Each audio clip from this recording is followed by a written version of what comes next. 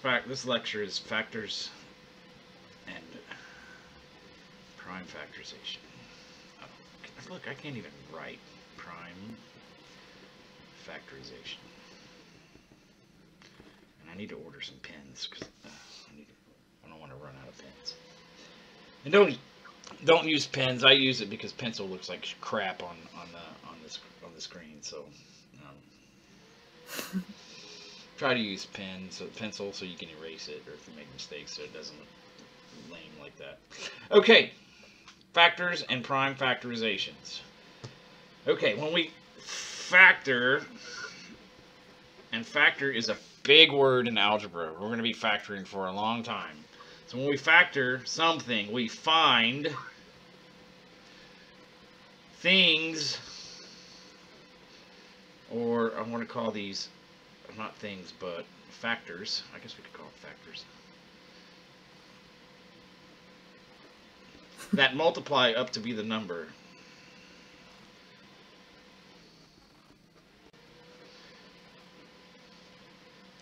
Multiply to get a number. Example, let's factor um, 6. Okay, 6 is 3 times 2. And 6 is also, there's another one. Six times one. 6 times 1. Now, I know there's other ones. There's 2 times 3 and 1 times 6, but we're just going to go one direction. So, if, in Mhm. other words, if you do, if, if I say 3 times 2, I also mean 2 times 3. Okay, so the Right. backwards, that isn't anything different. It's not, this is unique. Does that make sense? Unique? Yes. 3 times 2 and 2 times 3. There's nothing different about that. It's unique. Okay. So, we call 6, of course, what is 6 called? Two things multiplied together. Mm, the product. The product, very good. And we call these factors. Okay. And a multiply sentence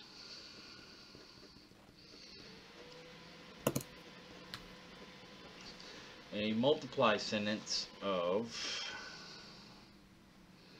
uh, numbers equaling a factor a product, I'm sorry.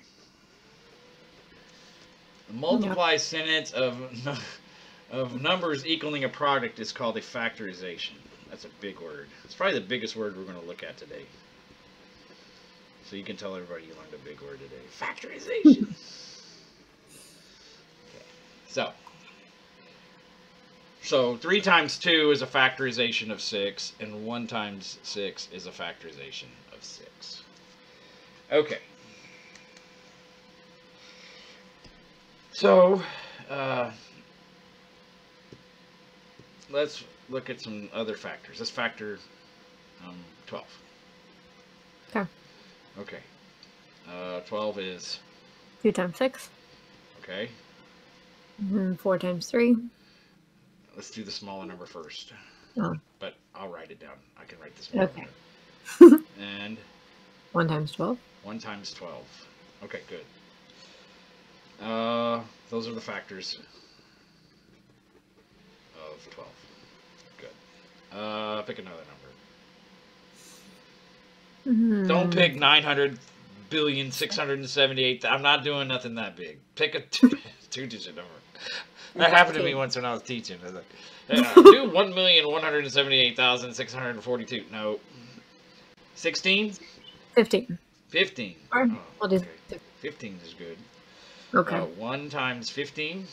Right. There's one more. Five times five times five. That's 125. Oh yeah, no, I got that wrong. So three times five. Yeah, not 5 cubed, which is what you did because you got cube on the brain or something. And square on the brain. I don't know how you jump ahead. Uh, how about a, okay? So all of these have different factors. What? How about uh? How about pick another number? Mm, twenty-one. Twenty-one. You like these multiples of three today, huh? One and twenty-one, of course. And what else? Mm, three and seven. Three and seven. Okay. And uh, one more number.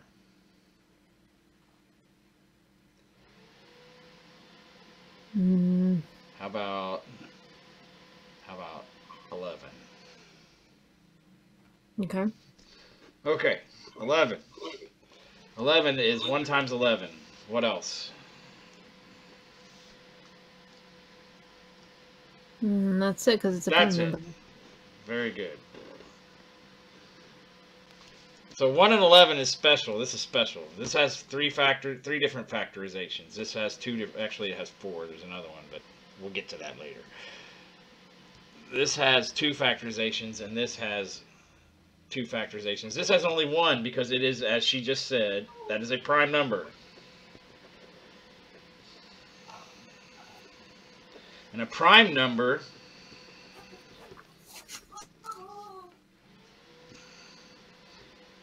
What is going on in the background over there? Oh, sorry. That's okay. like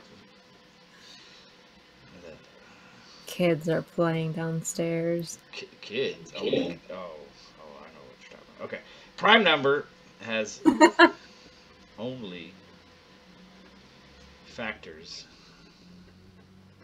one and itself. These are special numbers. People are looking for the biggest prime number.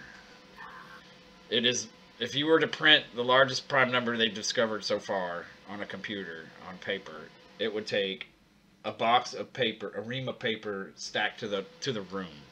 Huge number. And computers do all that stuff. So there's no way that like somebody's brain could actually wrap themselves around about how big this number is. Huge. Huge. It's like it's like 2 to the 7 7 million. It's not 2 to the 7 million. I'm just to say it's it's somewhere in this size number. Type that in your calculator and see if it see what comes up. Uh, huge number. Uh, and the, the primes that are actually called, they're called Mersenne primes. They're special. But Mersenne.org, if you are extremely nerdy, but you could win a million dollars, so be nerdy, right? They offer this software that runs in the back of your computer. And if your computer finds the greatest, the largest prime number, you'll get a million dollars. It's like playing the lottery. Pretty neat, huh? Mm-hmm. Okay. So what are the prime numbers? Let's let's find out the prime numbers from Okay. one to one hundred. Let's do one to one hundred. Do you have? I do not recommend memorizing all of these, but if you know how to find them, I mean that's always a good thing. So we're gonna have a little chart here. One, two, three. Let's see if I can do this without screwing up. I know it's really hard. The pressure's on for me to count to 100 here. So we're going to I'm just going to count to 100. I have faith in you. I know I should have had one of these drawn out already before this video started, but I didn't. You never know if you're going to get this far. Okay, then we got 12, 22. There's a train. Please bear with the train as it goes by. Is found my newfound sleeping pill addiction with the train, you know. And then we got 13.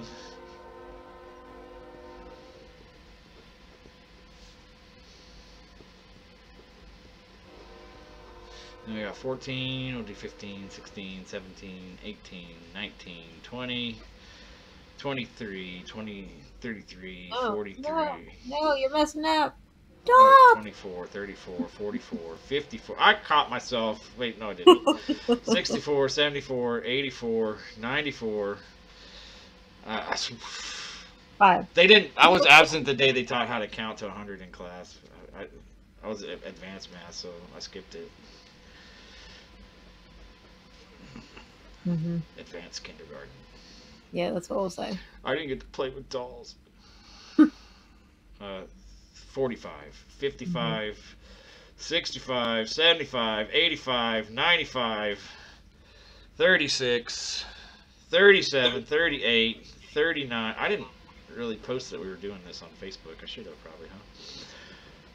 56, 66, 76, 86, 96, 47, 48, 49, 50, 57, 67, 77, 87, 97, 58, 68, s- no, yeah, 78, 88, 98. Uh, 59, 60, 69, 70, 79, 80, 89, 90, and 99, 100. Now my hand's tired. okay, so what we're going to do is I'm going to, we're going to, the first numbers we start off with will be prime. And Okay. then when we count multiples of them, they will not be prime. They'll be what's called composite. Composite numbers are not prime.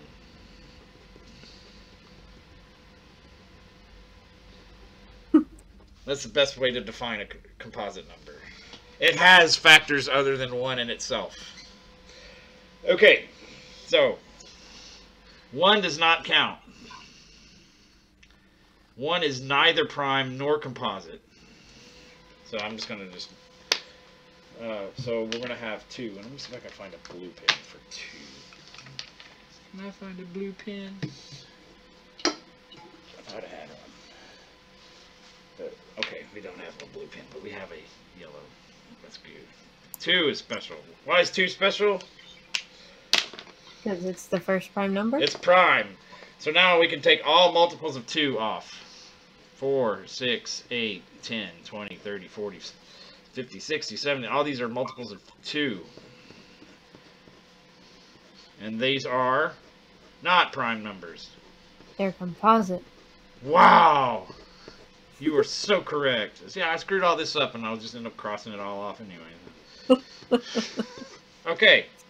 So, now that we've crossed everything off of the, all the multiples of 2, the next number should be a prime number, and it is 3.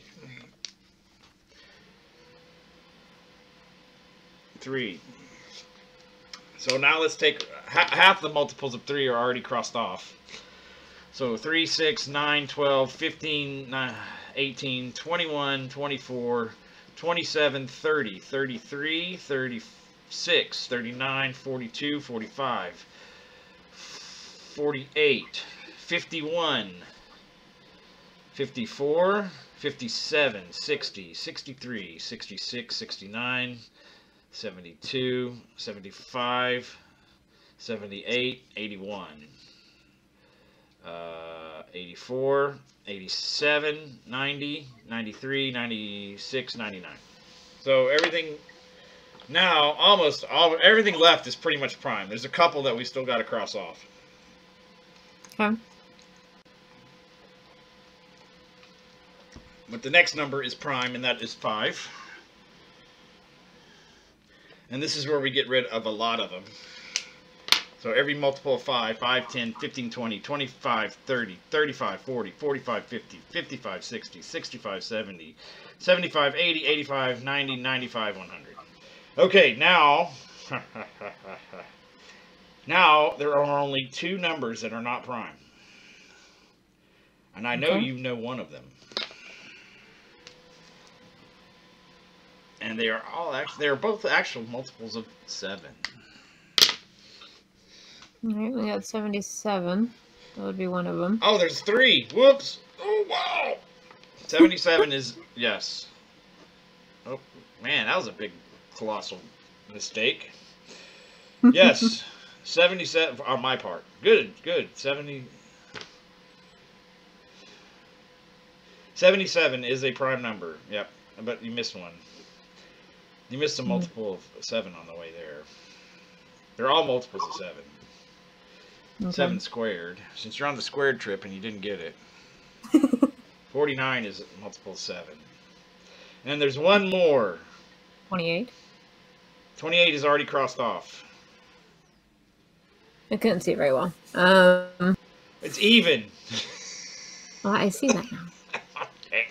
How could it be mean? It might be the number I'm pointing at. The 91. 91 is 7 times 13. And now I'm pretty sure all of these numbers are prime. uh, yes. Even 97's prime. Okay, so let's write these down so we can. I don't. I by no means expect anyone to memorize these numbers, but you should be familiar with two, three, five, seven, eleven, thirteen. That's probably uh, well, maybe th- under twenty. You should know that those are prime. Bigger than this, then yeah, I'm not too worried about it. Uh, Twenty-three, Th- and these are only the prime numbers less than 100. 100. There's more after Mhm. 100, of course. I think 101 is prime, but I could be wrong. Could be wrong. Okay, uh, 23. 29, 31. This is a special kind of prime number called the twin prime, and they're trying to find these big twin prime numbers, believe it or not. No. They're always twin like- prime. They're twin because they're right next to each other. Well, 30 is not going to be a prime because it's even, but they're right next next. There's never going to be three in a row, because one of them would be a multiple of six. No, one of them would be a multiple of three. Like 29, 31, the next one's going to be a multiple of three, and the one before it's a multiple of three. So you can't have three in a row, but you can have two in a row. Uh, 37, which is a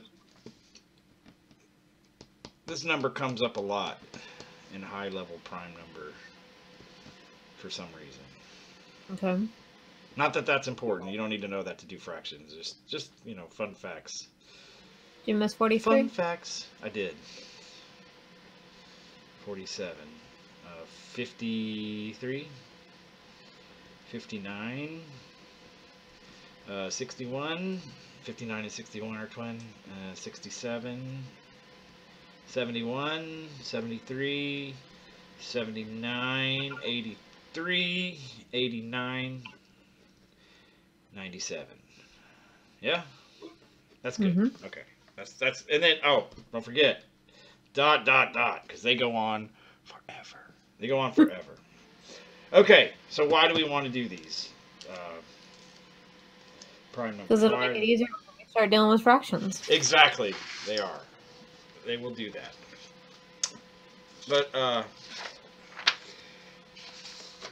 I'm going to go back to the to the to the uh, factorization here. Okay. Um, and I'm going to specifically look at 12 because I said uh, well, the factorizations of 12 we have are 1 and 12 and 2 and 6 and 3 and 4 and I've taught this class a lot and no one could ever guess another there's another factorization of 12 and no one could ever figure out what it is off the bat my screen just turned off. No one could ever figure out what Is the, it 2 times 2 times 3? it is it is. But i don't know i guess you've, you've had me before you might that counts i guess i don't know. It's two times two times three yes. What is special about this? Hmm, it has more than two factors. Has more than two factors that that's not what makes it fact special What makes it special? the factors are all prime Oh, okay. the factors are all prime. 2 times 2 times 3 is what is called the prime factorization of a number.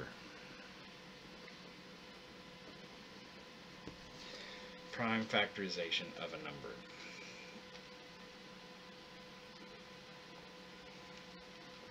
Now most most uh, topics of math have a fundamental theorem.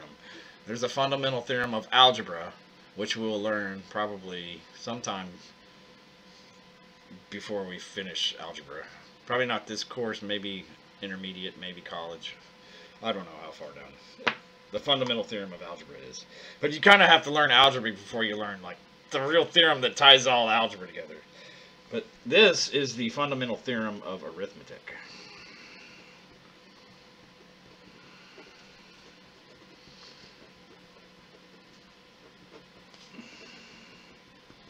The fundamental theorem of arithmetic.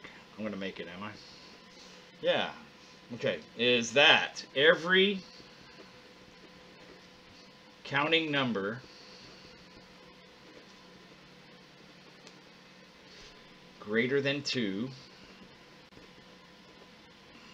or greater than 1 actually 2 has one every counting number greater than 1 has a unique prime factorization no two numbers greater than 1 have the same prime factorization and that would make sense because then there wouldn't be I mean only certain numbers multiply up to be one number, you know? Okay, so let's find why these are important, these prime factorizations. Let's find some first. Let's learn how to do that. And to do that, we're going to first, this is a really long lecture, and we're going to need a little break after this one, I'm pretty sure. Uh, I know I am. I might be speaking for you. We're going to learn some divisibility rules to help us find these, and they're going to be involved the they're only going to involve the first three prime numbers. After that, you're kind of on your own. But the ones that I'm going to, the numbers that we're going to work with today are all going to be less than 100. We're not going to do any fractions over 100 today, I don't think. So we don't need any huge divisibility rules. Um, and the first one is 2. And that's supposed to be like a little bar there, I guess. 2. A number is divisible by 2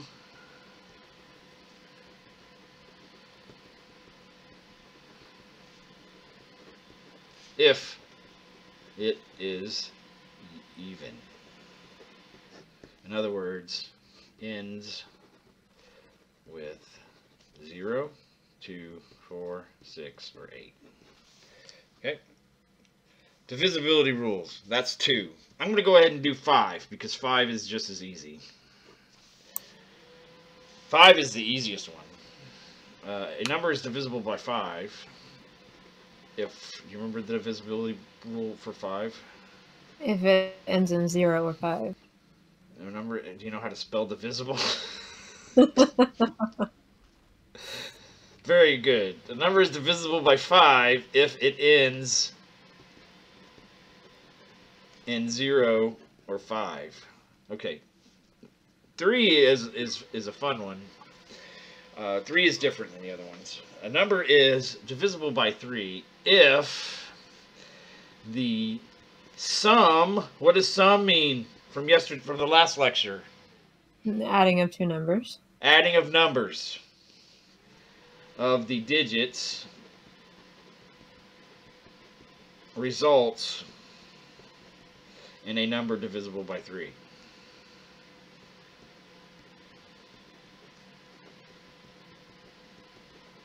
and I will do some examples to demonstrate three. I, I think two and five are pretty easy. 50 is divisible by five. Right. 35 is divisible by five. Right. 34 is divisible by two. Mm, correct. Is 34 divisible by three is not so obvious. Okay. By three. Okay, so is 30, that's a good start. Let's start off. 34. Is 34 divisible by 3? Well, we find the sum of the digits and the sum of the digits is 7. 3 plus 4 is 7. So, mm -hmm. not divisible by 3. There's actually a, a, a symbol for that. Uh, you could say uh, 3 divides uh, 12, right? If you write it like this, this is this is how fancy fancy pants maths people. 3 divides 12. Period. I'm not going to do this all the time. I just math people are really, really, really lazy. We don't like to write a lot of stuff. 34. Now, if if if you want to do something that isn't or the opposite or not, you put a line through it. So 34 or you would say 3 does not divide 34.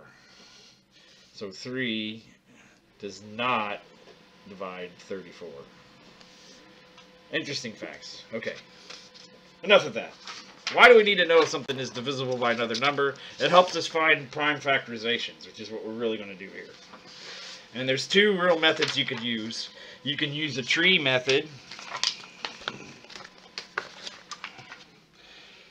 Uh, or you can use uh, repeated divisibility method.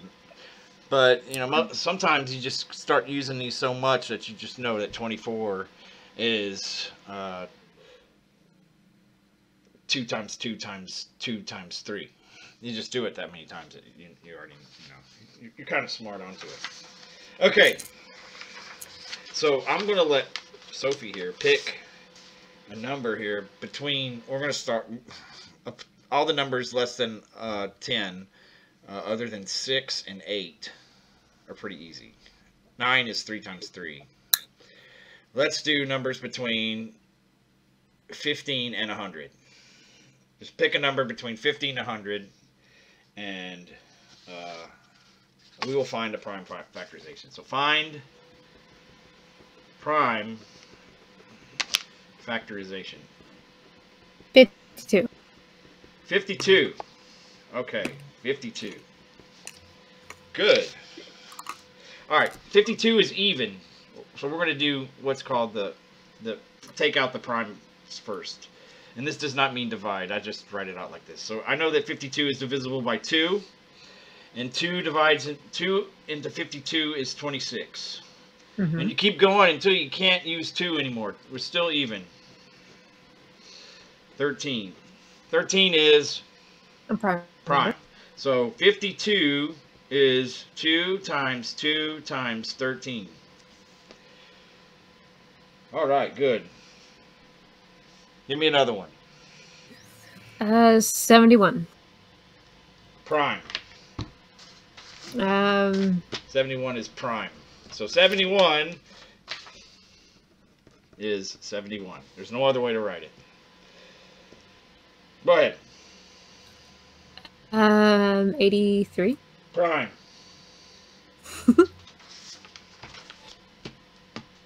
Sixty-six. Sixty-six. Even. Okay, sixty-six is a good one. I like sixty-six. Okay. Sixty-six is even. So we divide two. Two divided by two into sixty-six is thirty-three. Not even. We move on to 3. 3 plus 3 is 6. 6 is a multiple of 3, so this has to be a divisible of 3. So 3 divides into 33 11 times. 11 is prime. The last number you'll have here is prime. So 66 is 2 times 3 times 11. Okay, let's get some big. I want to do some bigger numbers so I can so we can use the tree method. Now I'm not gonna we're not gonna be dealing with fractions that are this big. I did have a class where we had some seven digit fractions and I think the guys had so much fun in that class. Mainly because I did all the work. It's, it's fun watching somebody else do all the work. Sure. But, you know, we were just sitting there like, are we really doing these big giant numbers? And then some of the people actually got into it. So, uh, and uh, the big number we're going to do is uh, 10,000. Okay. Okay, why did I pick 10,000? Because I know two numbers that multiply up to be 10,000. And that's 100 times 100. So I write it out like that. 100 times 100 is 10,000. Mm -hmm. Now I also know two numbers that multiply up to be 100. Right? 250. Uh, yeah, or 10 times 10, or 2 times. You can use any of them. We'll do 10 times 10 here, and we'll do 2 and 50 there. You don't have, they don't have to be the same. Good example. Okay. But if once one once the number's prime, you circle it. Because you don't have you can't break that down any further. 10 is 2 times 5. Uh, 10 is 2 times 5. And 50 is, what do you want to do, 5 times 10 or 2 times 25? It doesn't matter. Let's do 2 times 25. 2 times 25. And 5, and 25 is 5 squared, not 5 times 2. Okay, so whatever I circled is the prime factorization. So 10,000 is uh, one, two, three, four, four twos, and one, two, three, four fives. Is it okay to use exponents? Yes.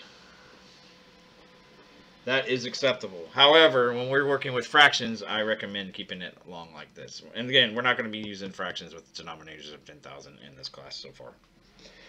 That I know of. that I know of. Okay. Are we good on prime factorizations of composite numbers? Okay.